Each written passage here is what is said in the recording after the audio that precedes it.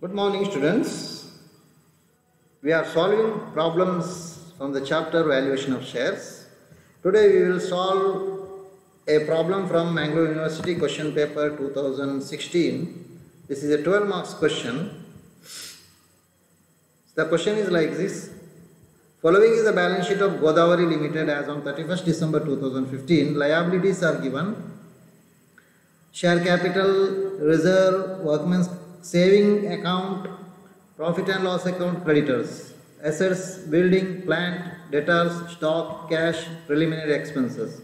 Then plant and uh, uh, building valued at uh, 60,000 and 1 lakh 70,000 respectively. Out of debtors, rupees 2,500 are taken as bad. The profits for the company for three years are 2013, 35, 2014, 40,000, 2015, 47,500. Company transfers, company transfers 20% of profit to reserve every year. Normal rate of return in similar companies 12%. Sales tax liability of 12 1000 is likely to arise. Find out the value of equity shares under net asset method and yield method. So, this is the problem we have to solve ಈ ಪ್ರಾಬ್ಲಮನ್ನು ನಾವೀಗ solve ಮಾಡಬೇಕಾಗುತ್ತೆ. ಇದರಲ್ಲಿ C one item you can observe there in the problem ಪ್ರಾಬ್ಲಮಲ್ಲಿ ಒಂದು ಐಟಮನ್ನು ನೀವು observe ಮಾಡ್ಬೋದು. ಏನಂದರೆ, ಅಲ್ಲಿ ಕೊಟ್ಟಂತಹ ಒಂದು ಐಟಮ್ ವರ್ಕ್ಮೆನ್ಸ್ ಸೇವಿಂಗ್ ಅಕೌಂಟ್ ಅಂತ ಕೊಟ್ಟಿದ್ದಾರೆ. ವರ್ಕ್ಮನ್ ಸೇವಿಂಗ್ ಅಕೌಂಟ್ ಅಂದರೆ ಏನು? ವರ್ಕ್ಮನ್ ಸೇವಿಂಗ್ ಅಕೌಂಟ್ ಅಂತ ಹೇಳುವಾಗ ಅದು ವರ್ಕ್ಮೆನ್ಸ್ ಕಂಪನ್ಸೇಷನ್ ಅಕೌಂಟಿಂದ ವ್ಯತ್ಯಸ್ತ ಆಗಿದೆ. Workmen's compensation account is relating to the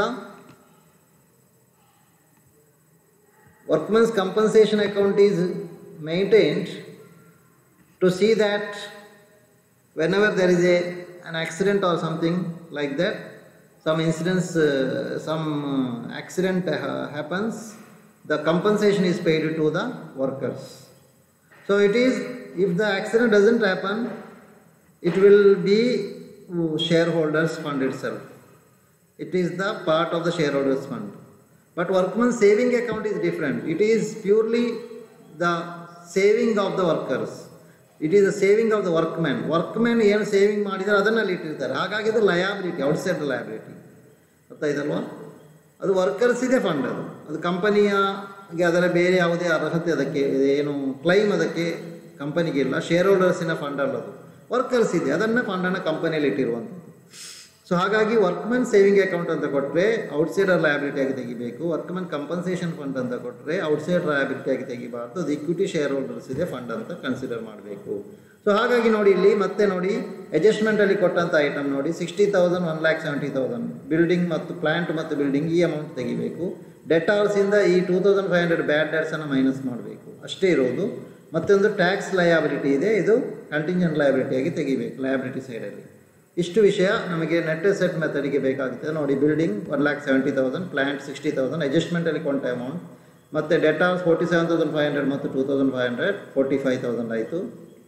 ಮತ್ತು stock thirty one thousand seven fifty ಮತ್ತು cash twenty nine thousand two fifty ಆಗುತ್ತೆ. Total three lakh thirty six thousand that is gross market value of the assets ನಾವು liabilities liabilities including contingent liability ಅಂತ ಬರಿಬೋದು ಅಥವಾ liabilities paid to out outsiders ಅಂತ ಬರೀಬೋದು creditors forty five thousand tax liability sales tax liability one thousand ಮತ್ತು ಇದು workmen's compensation fund ಅದು. Workmen's saving fund ಅಲ್ಲ. Workmen's compensation fund ಇದು ವರ್ಕ್ಮೆನ್ ಸೇವಿಂಗ್ ಫಂಡ್ ಇದು. ಕಂಪನ್ಸೇಷನ್ ಫಂಡ್ ಅಲ್ಲ. ಇದನ್ನೊಂದು ಚೇಂಜ್ ಮಾಡಿ. ವರ್ಕ್ಮನ್ ಸೇವಿಂಗ್ ಅಕೌಂಟ್ ಇದು. ಅರ್ಥ ಅರ್ಥ ಇದಲ್ವ saving account so workman saving account ಎಷ್ಟು? Rupees forty thousand okay so total eighty six thousand three lakh thirty six thousand minus eighty six thousand two lakh fifty thousand preference share holders ಇಲ್ಲ ಹಾಗಾಗಿ net assets available to equity share holders will be same so two lakh fifty thousand okay 2 lakh 50000 is the net assets available to equity shareholders so intrinsic value intrinsic value ಎಷ್ಟು ಬರ್ತದೆ net assets available to equity share holders that is two lakh fifty thousand divided by sorry divided by ಏನಾಯಿತು divided by number of equity shares number of equity shares ಇಲ್ಲಿ ತರ್ಟ್ ten thousand ಪ್ರಾಬ್ಲಮಲ್ಲಿ ಕ್ವಶನ್ಗೆ ಹೋಗ್ತೇನೆ ನೋಡಿ. ಇಲ್ಲಿ ten thousand shares ಅಂತ ಕೊಟ್ಟಿದ್ದಾರೆ. ಹಾಗಾಗಿ ten thousand so two lakh fifty thousand divide by ten thousand rupees twenty five per share so ಇದು ಇದು ನೆಟ್ ಅಸೆಟ್ ಮೆಥಡಲ್ಲಿ ಇನ್ನು ಈಲ್ಡ್ ಮೆಥಡಲ್ಲಿ ನೋಡುವ yield ಮೆಥಡಲ್ಲಿ annual average profit two thousand thirteen thirty five thousand fourteen forty thousand ಫಿಫ್ಟೀನಿಗೆ ಬರುವಾಗ forty seven thousand five hundred minus bad debts two thousand five hundred so forty five thousand ಬರುತ್ತೆ total one lakh twenty thousand average annual profit is 40000 less transfer to reserve 8000 then profit available to all shareholders is 32000 so now preference dividend nil so profit available to equity shareholders is also same amount 32000 now you see capitalize the profit is equal to profit available 32000 normal rate of return given in the problem 12% into 100 so capitalize the profit is 266667 value per share value per share ಅಂದರೆ ಇದು yield value per share capitalised value profit divided by number of equity shares that is two lakh sixty six thousand six hundred sixty seven divided by ten thousand So rupees twenty six point sixty seven ಇಲ್ಲಿಗೆ problem ಮುಗಿಯಿತು ಆದರೆ ಬೇಕಾದರೆ ನೀವೇನು ಮಾಡ್ಬೋದು? Fair value calculate ಮಾಡ್ಬೋದು ಅಂತ ತೋರಿಸಿದ್ದೇನೆ. Intrinsic value plus market value ಅಥವಾ yield value divided by two twenty five plus twenty six point six seven divided by two that is equal to twenty five point eight three five so that is the ಪ್ರಾ answer okay hope you have understood this answer any doubt ಇದ್ದರೆ ಏನಾದರೂ ಕೇಳ್ಬೋದು. Okay thank you